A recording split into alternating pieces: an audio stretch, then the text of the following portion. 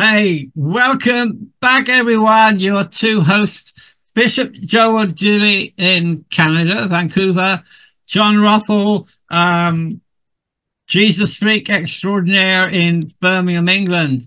And I believe that Bishop Joel is going to roll the ball with um, really relevant scripture from the gospel. So, hey, take it away, Joel. Let's hear it.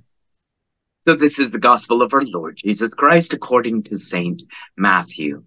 Then Jesus prayed this prayer O Father, Lord of heaven and earth, thank you for hiding the truth from those who think themselves so wise and clever, and for revealing it to the childlike.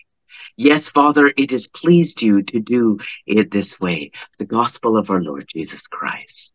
Amen. Thanks be to God. Woo! You know, that's a heavy. It, that's a heavy one, Joe. It is. It is. Wow, can you, can you read it again? Can you just read it over again for us so it really can sink in? Uh, you know, I think we hear things, we don't hear things, but. Then Jesus himself prayed this prayer O Father, Lord of heaven and earth, thank you for hiding the truth from those who think themselves so wise and clever, and for revealing it to the childlike. Yes, Father, it pleased you to do it this way. Wow. Okay, take it away, Joel. That's amazing. I'm thinking of it like the understanding of this understanding of woke this understanding woke. of woke, woke, yes, woke. yes, yes, because because it sounds so good, but it's very it's very proudful, isn't it? It makes people think they're so clever. They've they've got a disgruntlement about something, but they think them so clever, and it's playing in politics at the moment. Yeah, absolutely. You can't say certain things, you can't say certain things, and people are wondering why. Yeah. Well, this is a scripture that God's really put through here with this. What the woke does is it puts people in place of God. It says that we've got this thing and this thing and this thing that we need to address. And we're going to get the more disgruntled you are, the more the more upset about something you are, the more that this is going to be handled. Uh, right? But God says to be uh, grateful and thankful, and it says to forgive these are the things that are not in the woke culture. The reality is, is all of us have had stuff that have happened in our lives.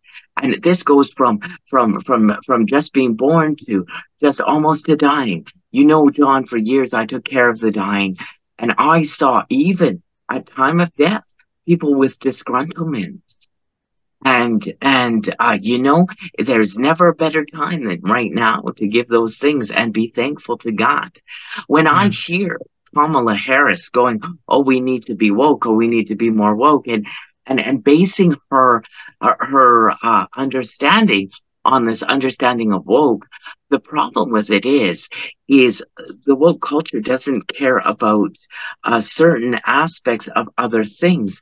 It can only focus on a few things at a time Okay, well, so let's, let, us just unpack woke for a minute because it's interesting. Okay. Yeah. You're there, you're there in Canada. I'm here in England, right? And we haven't mm-hmm. had a lot of time over the last week to really because we're on completely different time zones, right? And we haven't yeah. had a lot of time to share or even prepare for this interview, and yet we're both seeing the same thing that this wokeness, and I would describe that as being like everything you feel or think or wish to believe about yourself is what is your truth. It's like your truth and my truth. And then if you don't, uh, if you don't get your truth, your way, your selfishness, then you're going to be up in arms and you do things like what happened in Britain a couple of weeks ago and start doing craziness. I can't even talk about it because if I talk about it, all the social media is going to shut me down. So I can't even mention it. But a couple of weeks ago, we had some stuff happening bad stuff. Okay, so this is this is an example of woke culture of shutting people down, of of not listening to, not seeking truth.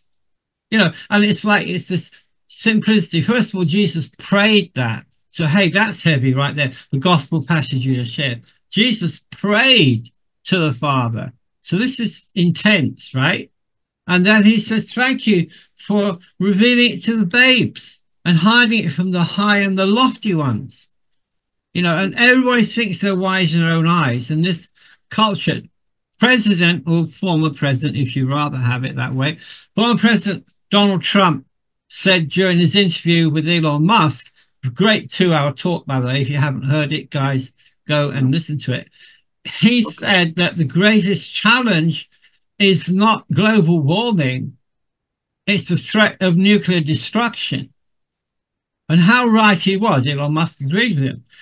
You know, it's like we're on the cusp of potentially World War III, and people are carrying on in their bubble of unreality. It's what it, you know, but what it is, isn't it? Well, yes, I think I think where where um I, I have a concern with Harris and Walz, uh, with that that duo. What happens is is is that um, I, have um, to, I have to laugh when they go on stage. You know, I honestly think are they smoking dope before they come on stage because they prance about the Harris waltz it's crazy. But I see the demonic in it, and I'm not calling them demon possession, so please don't get the wrong idea. But I see the demonic in it because there's a lot of people, millenniums and so forth, who actually attach that and identify with that type of wokeness of hey, everything's fine. Apart, you know, plus Kamala Harris is going very close to using a slogan, but I won't go there. You guys, you know this thing of um, uh, what is it now? Uh, you talk and I'll think of what it is. Okay, you tell me what okay. you think. Yeah, yeah. I want to also talk to those who are, who who don't profess to be Christians on on uh, your program as well, John, because I want to talk about this woke thing because what happens is is that only certain aspects get addressed. So the reality of it is is that to be honest, I I or you or somebody else would not know how to run this country. And it takes a lot of uh, intelligence. It takes a lot of planning. It takes a lot of uh, things, and it takes people with uh, a strong personality to be able to govern a, a country with things that matter for the people. Mm-hmm. Now, uh, identity politics, uh, other things, getting to other things, um, you cannot get into truth of what a country needs on those bases. You need to be able to have an understanding of foundational issues within a country. So, for instance, in, in Canada, here, uh, we have gone very well uh, and and the problem with that is all our laws are being based on these things. But but then everything else changes with it. And what we've seen in our country is we've seen a, a total shift to a point of where uh, certain things that were working before are not anymore. So for instance um, and it looks crazy uh, because what happens is certain um, certain aspects are now taking over our laws.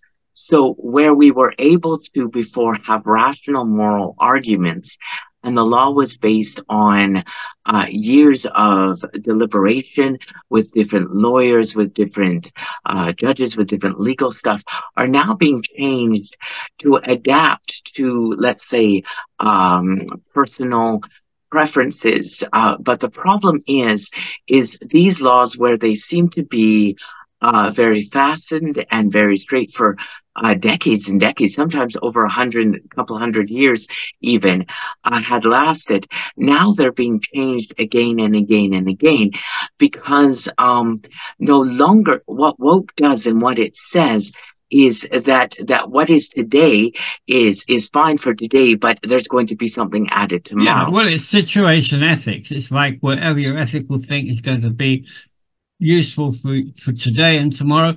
Because okay, bottom line is new world order. Satan is attempting to rule this world, and he hates Jesus. He hates Jews. He hates anything to do with true faith and morality. And so, New World Order is what's coming in. And Donald Trump isn't playing the game He isn't playing the Obama game. He's not playing the Clinton game. He's not playing the Kamala Harris joke game. You know, if you want to hear proper politics, listen to any of the speeches that J.D. Vance, running as VP, has has has done in the last couple of weeks. He is absolutely amazing, and as much as CNN and all the other networks try to trip him up, he comes up time and time and again with rational arguments. But the thing is, as you say, with the woke, rationality goes out the window. And by the way, we're going to be going out the window in two minutes because we've only got two minutes left of recording time. Um, but we need to have, okay, no, what we need to have this faith in Jesus doesn't live inside a church. We go to the church building to worship and adore our God, but it's unrealistic to expect everybody to come flock into your church just because you've got cookies and donuts after the service. The Sikhs are far better at hospitality than almost all Christians are. If you go to any Gurdwara and you walk in there, you will not get out without being offered food. They got huge kitchens, huge cooking pots, 24 7 going on. Now, that should be a conviction for us as Christians of how we can run um, our mission. I don't know what that supposed to do with woke, but yeah, there you are. That's one hour, 20 minutes, one minute, 20 minutes, one minute, 20 seconds left, Joel. So you take it away. Well, I think as we come back to this this verse and uh, out of a rabbit trail, um, we, we we understand that uh, that that we being wise in our own eyes, all that does is lead to foolishness and and mm-hmm. destruction. But being wise in the Lord's eyes, uh, doesn't. Um, and and and that we need the Lord's wisdom, uh, in in that, and we need we need prayer back, uh, in in the understanding of how we operate our lives. And and if you're not a, a, a Christian, I'm sure you're seeing what's going on, and you're going, hmm. These things are making sense, starting to make sense that yeah. there is a spiritual warfare going on. That's right. Uh, Joel, we're going to continue this. Stay tuned, guys, because we're going to have more from Bishop Joel and myself, John Ruffle, later on. God bless Thanks. you. Thanks for sharing. Thank you for watching.